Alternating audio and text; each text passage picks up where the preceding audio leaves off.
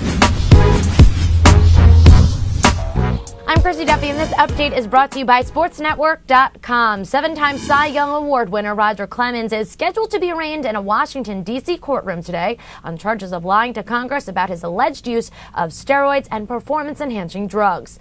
Clemens was indicted on August 19th and faces three counts of making false statements, two counts of perjury, and one count of obstruction of Congress. The 48 year old Clemens, who has been out of baseball since 2007, testified before Congress in February 2008 and has repeatedly denied denied allegations of steroid use in direct contradiction to his ex trainer's claims. If convicted on all charges, Clemens could face up to 30 years in jail, but sentencing guidelines call for about 15 to 21 months in prison.